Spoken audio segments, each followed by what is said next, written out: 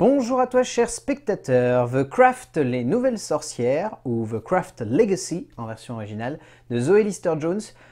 Honnêtement, je savais même pas que ce film sortait. Et quand j'ai découvert qu'il sortait, j'ai découvert par pur hasard que c'était une production Blumhouse. Vous savez que je suis plutôt amateur des productions Blumhouse, sans forcément sauter au plafond à chaque fois qu'il y en a une qui est annoncée, mais je trouve ça assez divertissant dans une juste mesure parce qu'il y a certaines productions qui sont vraiment catastrophiques. Mais je trouve ça assez divertissant. Le résumé pour faire simple, Lily vient tout juste de débarquer dans une nouvelle ville, dans une nouvelle famille, celle de son nouveau beau-père. Là-bas, elle fait la rencontre de Frankie, Tabby et Lourdes, qui lui annoncent une grande nouvelle.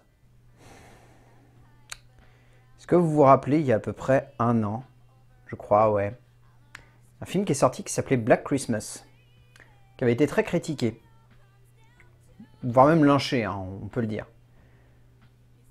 The Craft, les nouvelles sorcières, et le digne héritier de Black Christmas. Je ne sais pas ce qui s'est passé, mais encore une fois, on est devant un long métrage qui est bizarre. Mais vraiment, quand je dis bizarre, c'est bizarre. C'est un film qui se veut donc être un remake d'un film qui est sorti courant 96. Euh, qui n'a pas eu plus que ça d'impact en France. Et honnêtement, j'avoue qu'avec la sortie du film, je me suis replongé dedans. Et en fait, j'ai découvert qu'à l'époque, lorsqu'il était sorti, le film avait eu un certain impact. Et son réalisateur, Fleming, avait eu une certaine carrière juste après. Mais alors là, franchement, je trouve que le long métrage que nous offre Zoé Lister-Jones est hyper convenu dans un premier temps. Ce qui aurait pu ne pas être dérangeant parce qu'il y a une ambiance un peu teen movie qui est assez cool et qui emmène bien le long métrage. Et il y a la deuxième partie du film que je trouve ignoble. Dans le sens où on est sur un espèce de film qui a un propos féministe qui pourrait être bien amené, mais qui est amené à la truelle, et avec des clichés, des grossièretés, des facilités qui n'ont aucun sens. Ce qui fait que littéralement on se retrouve devant un film où dans un premier temps on passe un bon moment, et ce deuxième temps détruit littéralement tout ce qui a été mis en place pour construire un film où c'est ridicule. Les remakes de films d'horreur se doivent d'aller dans une direction surprenante s'ils veulent donner lieu à quelque chose de simple mais surtout de juste. Or, de nombreux remakes ont tendance à simplement prendre le propos de base du premier film et à essayer d'en grossir simplement les traits. Zoé Lister-Jones décide donc de reprendre le même sujet du long métrage d'Andrew Fleming pour simplement donner lieu au même problème qu'avec Black Christmas l'année dernière, soit une œuvre à la forme et aux propos féministes amenés à la truelle avec une grossièreté et une maladresse qui laisse de marbre, et nous oblige presque à simplement constater les pots cassés. En termes d'écriture, donc Zoé Lister-Jones, c'est vraiment là littéralement basé vaguement sur les personnages créés par Peter Filardi, contrairement au film de Fleming qui lui cherchait un petit peu plus à coller à son récit. Euh, ce scénar marche pas mais marche pas pour des raisons qui sont de l'ordre du ridicule.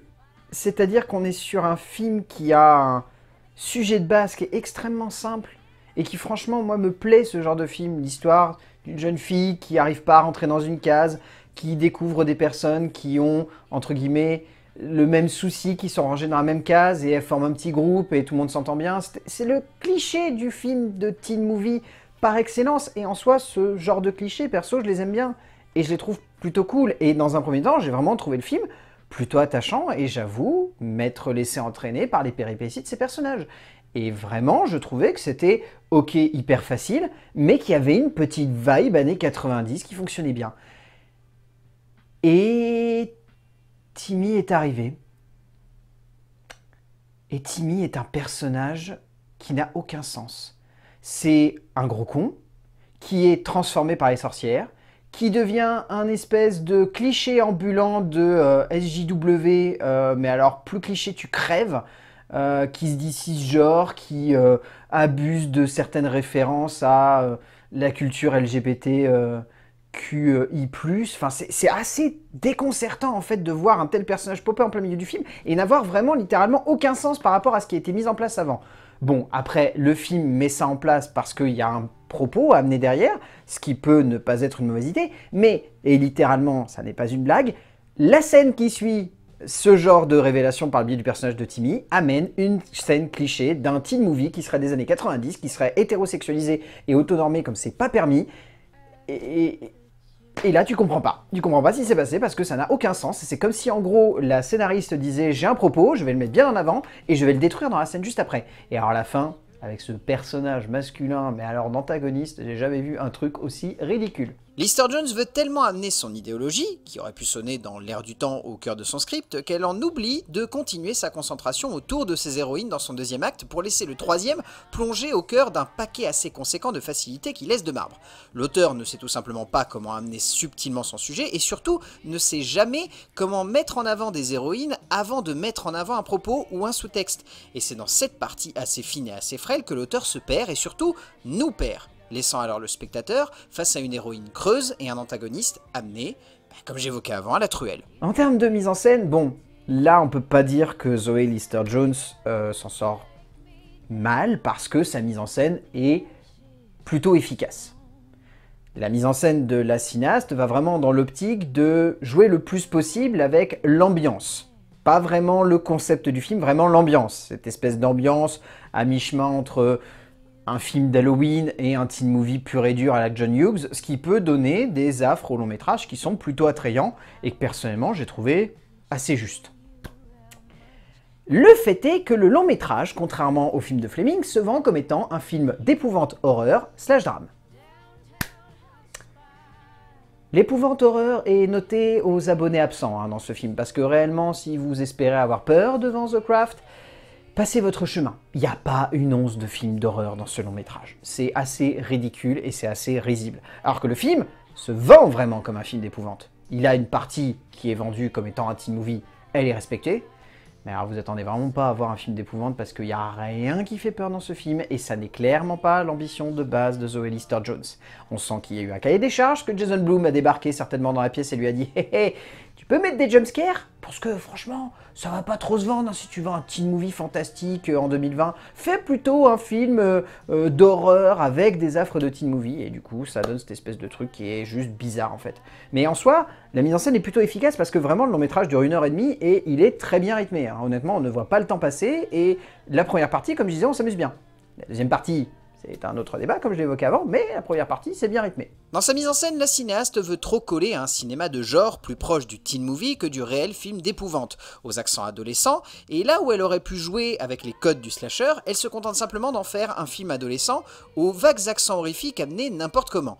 La cinéaste ne sait pas comment amener son film de la bonne manière, comme si elle avait souhaité s'orienter plutôt du côté de Buffy que du film de Fleming, qui lui, pour le coup, assumait son côté adolescent, avant d'être un film d'épouvante, créant alors un mélange des genres plus attrayant que ce film d'épouvante bas gamme et assez vain. En termes de casting, c'est pas fou mais c'est pas mauvais.